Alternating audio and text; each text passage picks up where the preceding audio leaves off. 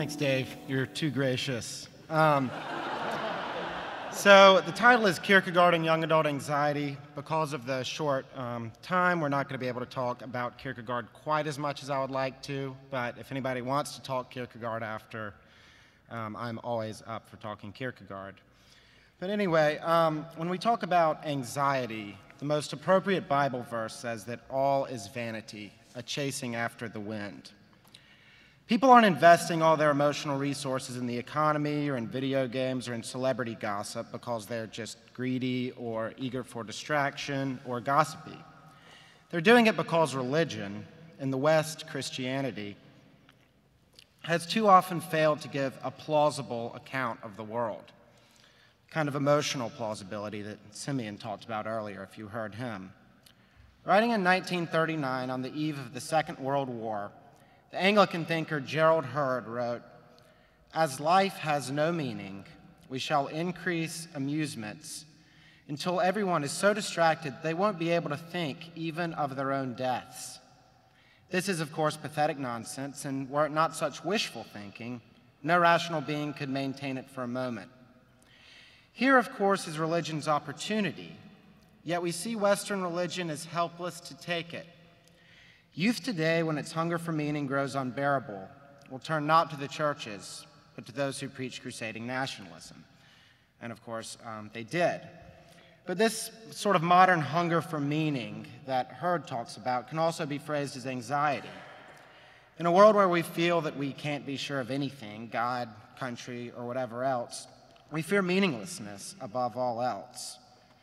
But anxiety is different than just fear. You can be afraid of an impending bear attack, for example, but anxiety makes a lot more sense in the context of fear of personal failure in something. You feel anxious before a job interview. And fear is always related to an external threat, but anxiety is different. Anxiety is reflective, it's always related to the self. Fear is about danger, but anxiety is a special kind of fear. It's a fear of it's a fear of our own failure, of not measuring up, of sort of coming, on the, coming out on the wrong end of the performanceism spectrum.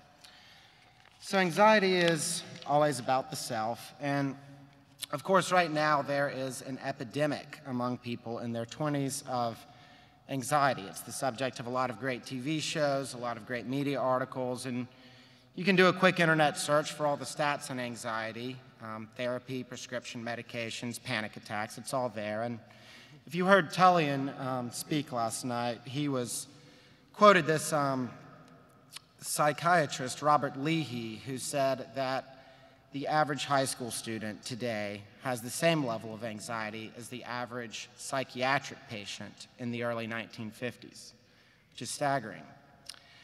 And so there's no need to really cite any of these statistics, but what I'm concerned with is the relationship of anxiety to Christianity and to the way that church is dealing with it, particularly in its ministry to people in their 20s.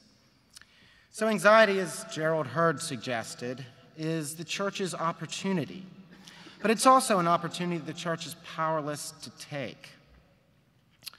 Fear of meaninglessness, fear of guilt, fear of failure, if these factors are what traditionally drive people into the church, drove people to Jesus in the New Testament account, then 20s anxiety, from a Christian point of view, should lead to the natural question of why church attendance among this demographic, especially, only continues to decline. Why is Western religion, as Heard said, powerless to take this opportunity? Well, first, what makes people in my generation so anxious? For starters, there's the question of career. You can be or do anything. You have so much potential, the world's your oyster, and the like. Are you more cut out for finance or education? Is it worth it to go to grad school? What's the point of compromise between doing something you're passionate about and paying the bills, providing for a family? When internship season came around at my college a few years ago, economics and commerce school students were the most worried of anyone about finding business jobs. And yet they were also the best prepared to find them. And it seems like it's the preparation itself that causes anxiety. You have more potential, and more potential means more options. And more options means a greater burden to choose the highest paying, the most prestigious, most personally fulfilling one. Whom will you marry, and how will you find that person? How do you know that it's right? The guys I know with the widest dating options tend to be the most paralyzed about making the decision. And we can drill down even more. Where will you end up living? Is playing video games really a good way to spend your free time, or is there something more edifying you could be doing? Why hasn't this person returned your text? Dead phone, complete rejection, or some other reason that you'll find out in three hours and hate yourself for being so worried about it? Even does this lunch have too many calories? The collective weight of these minutiae can be staggering. So we can begin to define anxiety by saying that it always concerns possibility, because wherever there are options, there's the threat that you could choose the wrong one. Anxiety always concerns personal, individual responsibility for something, what in the Christian lingo would be called law. And in that regard, we could even call anxiety premeditated guilt, the fear of failure or wrongdoing. And in the examples I've given, anxiety is related to the future. Will this career decision be the best one? How will this interview go? Etc. But in addition to the possibility of the future, there's also sort of a sense of possibilities about the past, things that you regret from the past that for some reason make you anxious. So think for a moment about a poor decision you've made in the last few months, or a particularly damaging thing you did years and years ago, something you wish you could have done differently. The feeling is a lot like anxiety, and it seems like it is. In my life, at least, anxiety about the future is never quite so bad as anxiety about something that I could have done differently in the past. And it's that language of could have done that makes us so anxious about the past. So, if anxiety is a fear of failure, then it shouldn't make sense to feel anxious about the past. For better or for worse, the die is cast, but we still do feel this way. If anxiety is related to possibility, the thought that we could have done something different is what produces it. And we always think we could have done something different because, on the surface, this makes us feel better. It keeps us from having to fully come to terms with the fact that we have messed up in some way. To switch gears a little bit, one example of a mistake um, from the Christian world, or that sort of mistake of possibility, is the way we think about Adam's sin, the fall. People often like to speculate about what life or what history would have been like had Adam not disobeyed God's commandment. What would things have looked like? In The Concept of Anxiety, a book about anxiety and sin written by Soren Kierkegaard, Danish philosopher, he kind of comes down on that speculation about Adam, saying that it's sort of a collective theological temptation to forget that the fall actually did happen and that we are actually guilty. The fantasy about human innocence certainly might help people distract ourselves from the reality of guilt. And it's the same way with anxiety about the past. A daydream about what things would have been like if I personally had done something differently is escapist. It allows me to forget that I did fail in something. Keeps me from fully apprehending the fact that I am guilty of that. And so anxiety may be fear of guilt or anticipation of guilt, but guilt itself never produces anxiety. Because in true guilt, someone has come to grips with the fact that their failure, sin, or mistake actually did happen and they are responsible for it. And things could not have gone otherwise. No possibility of things going differently. As Kierkegaard says in the same book, as soon as guilt is posited, that is, actually felt or understood, anxiety is gone and repentance is there. Mary Karr, in her memoir Lit, talks about a time in her life when she felt small emotions instead of the big emotions. Specifically, she felt anxiety rather than sorrow. And that's a powerful line because Kierkegaard, in a sense, is right. Knowing fully that you're guilty of something produces sorrow. Your attempt to shield yourself from sorrow by thinking about how things might have gone differently is what actually produces anxiety. So, guilt, in a sense, cancels anxiety about the past. In this sense, sort of anxiety and godly sorrow, godly sorrow what, being what the Christians call repentance, those things are mutually exclusive. To illustrate, think briefly of a job interview. You're, you're really, really anxious about it, and um, then it actually does go horribly wrong. People have had this experience. But if you're really anxious about it, you're thinking about what could I have done differently? How could I have prepared better? How could I have been more myself, more spontaneous in this interview? But if you sort of accept the fact that it just went badly, there's a sort of sorrow about it. There's a guilt. I messed up. I didn't do as well as I thought I was going to in that. But there's also a peace that comes with that, a deliverance from anxiety.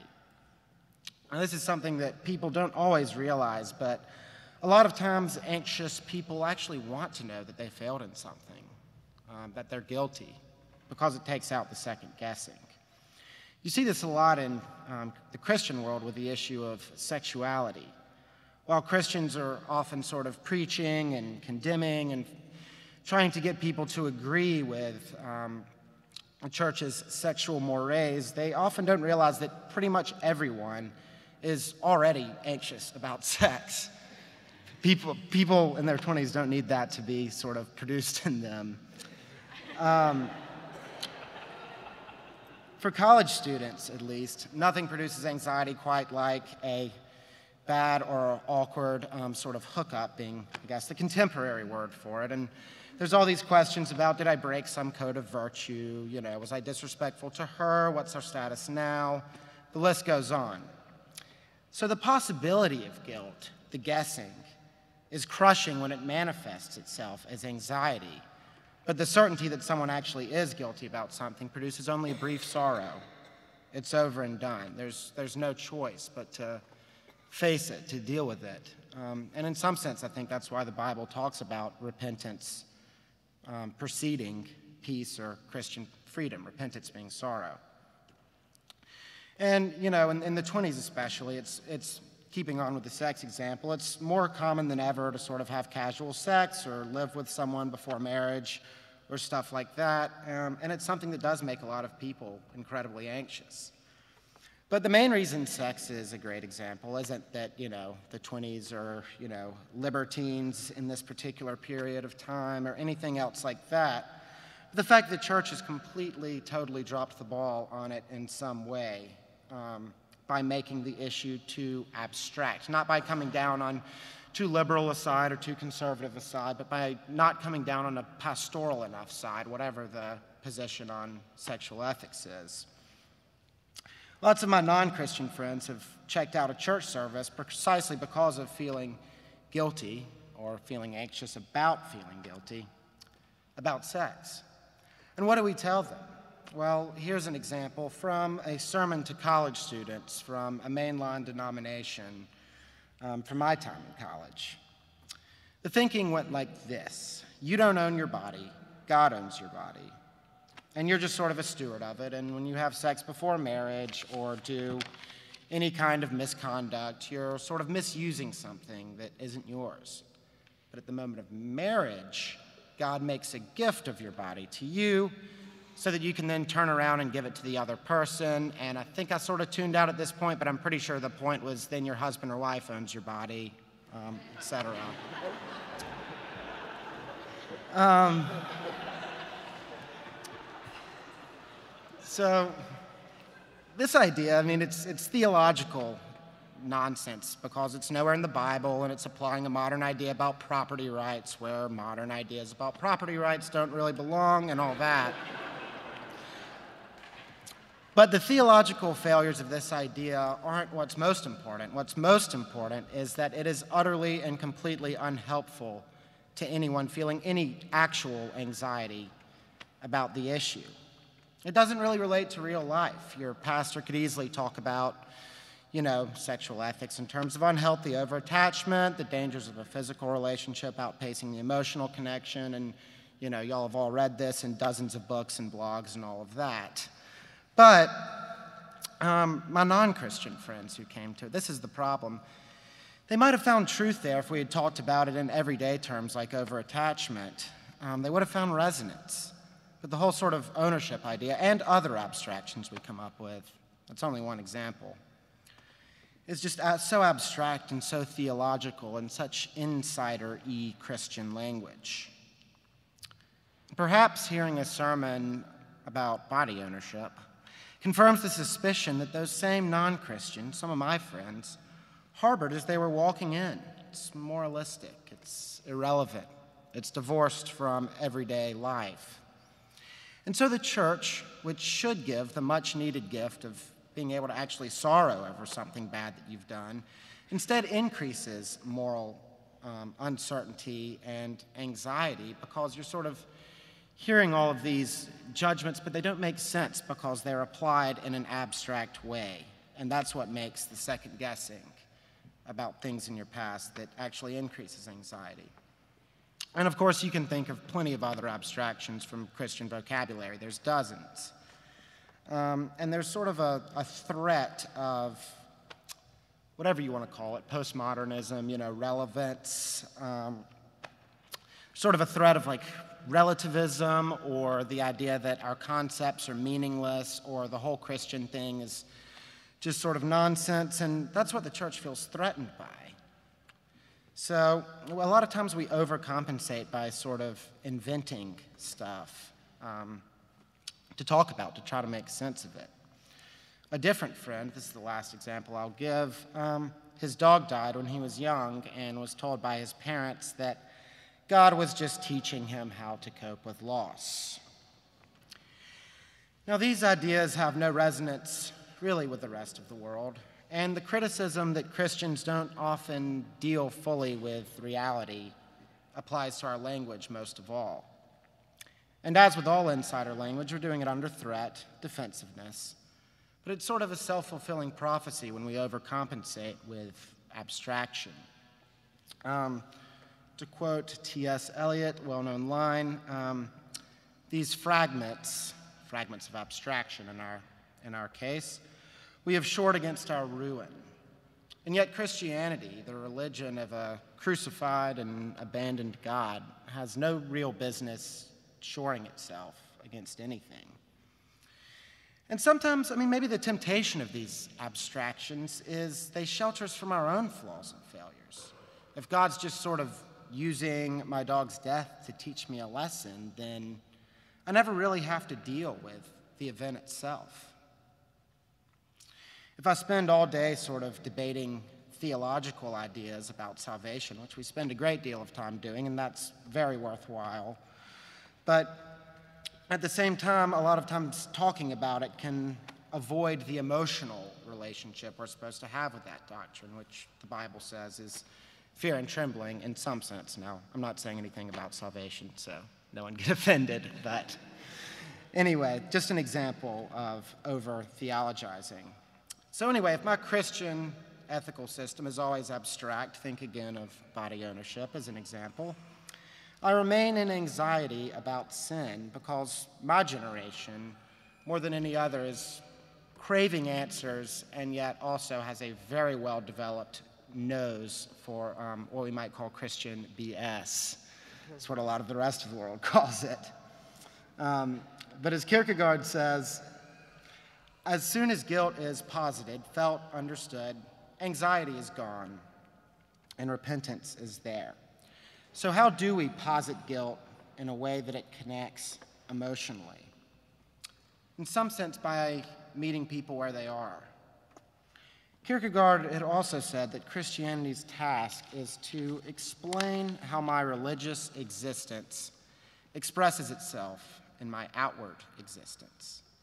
That is to say, connecting Christianity with real life, not with abstraction, and real life is always personal. The church can make the most sense when it connects not on the basis of insider language or imparting a certain kind of wisdom, but on the basis of empathizing with people where they are and providing a framework to sort of interpret their emotions to them within their own context. And that's not to say that we lose ours in the process, but being pastoral means, in some sense, um, meeting people where they are. So, in practice, the sympathy almost always looks like sharing your own experience with someone who is suffering. The only connection to be had with skeptics or non Christians is on the basis of shared weakness. Given Christianity's grace message, we as a church should be able to admit and share in weakness, anxieties, and guilt, perhaps more than anyone. But there's this strange inability to do so, the powerlessness that Heard talked about. And it, it's, this presents sort of the paradox or the irony that an age group that perhaps should be more church inclined than any other cannot be because the barriers, as they stand now, are too high. You'll get either a moralistic command couched in this sort of arbitrary, abstract language, or they get an unhelpfully vague bit of theology. And I don't, of course, want to be too critical on the church. But if the stats on church attendance and the sort of media reputation and all of that are any evidence, then there really is a problem, and it's a dire one. And it seems like the first solution that Christianity ever proposes to anything is pointing the finger at yourself. The Apostle Paul, foremost among sinners, as he says.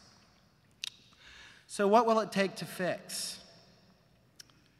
My first thought, um, of course, was that we could all just resolve to go out and be more forthcoming about our problems, more empathetic, become more attuned to reality by becoming more willing to face the weakness that is uh, in ourselves and the ruin, which is always the place where grace shows itself more clearly. But that's just sort of another law. And that won't work, at least not by our own willpower. Resolutions rarely produce humility. Acts of love are never calculated, but always spontaneous, always spirit driven. And since anxiety and guilt have always driven people to religion, perhaps we're due for a revival at some point. And there is great hope for the church in this area, maybe not in the way that we would first think. To go back to Gerald Heard, um, he thought in 1939 that the threat of meaninglessness, of vanity, is the church's opportunity. And 74 years after Heard wrote, we still haven't really taken that opportunity if, again, the statistics are to be trusted.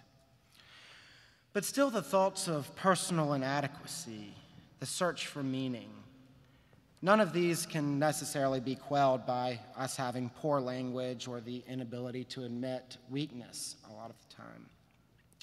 The good news is that the church itself is becoming more and more subject to anxiety. Its place in the world is continually called into question by academia or by the media. Perhaps this small issue will wear away at the dross of abstract theology. Kierkegaard, the great theologian of the heart, would have been very happy to know that the abstract, idealist, very, very Christian philosophy of his day would be defeated by secular alternatives that were at least more concrete and forced people to get in touch more with their emotions, which is the touchstone of the Christian message. He said in, 19, in 1846 that Christianity is spirit, spirit is inwardness, inwardness is subjectivity, subjectivity is essentially passion, and in its maximum, an infinite personal, passionate interest in one's eternal happiness. A touchstone.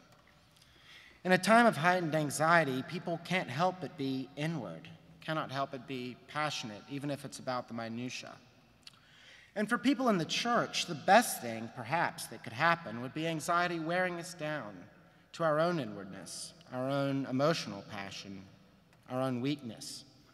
Because community built on shared weakness and, then and only then, on shared grace is the heart of the church's ideal.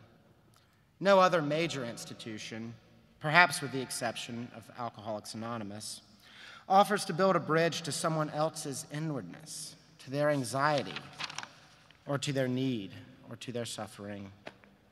And hear the message of grace, God's love for sinners through Christ, again becomes the most important, not least to us, the church, in our mixed communication of this grace. So while our hope for the church remains murky and doubtful and mixed, we can still take comfort in the objective, unchanging message of the gospel of forgiveness for sinners through Christ, through the cross. The message that speaks to all the anxious inside and outside the church, and the only message that we or anyone else has ever needed. Thanks.